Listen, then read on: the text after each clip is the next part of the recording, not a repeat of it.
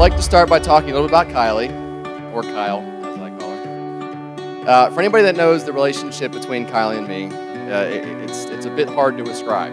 Uh, it, it can be summed up by phrases like, I hate you, you're ugly, you're a lard ass, and keep your hands off my man. And yes, he's still my man. But behind all the bickering, there's an unspoken friendship between Kylie and I that I hold that holds a very special place in my heart. And I will finally agree to share Zach with you. Except we want to go golfing and then you're shit out of luck. Because then it's just us. And now on to Zach.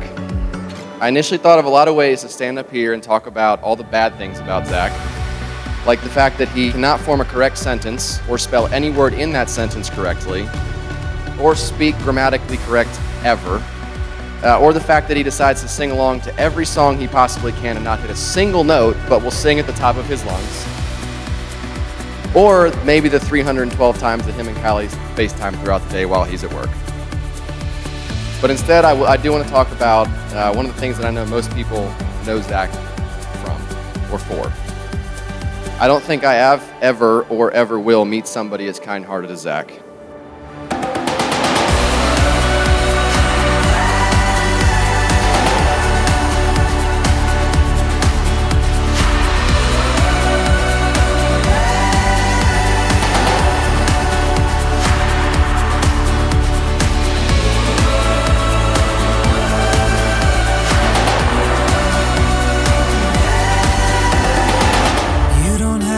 Be perfect. Broken bones are worth their weight in gold. They prove you're alive. No fears or regrets. Just take the jump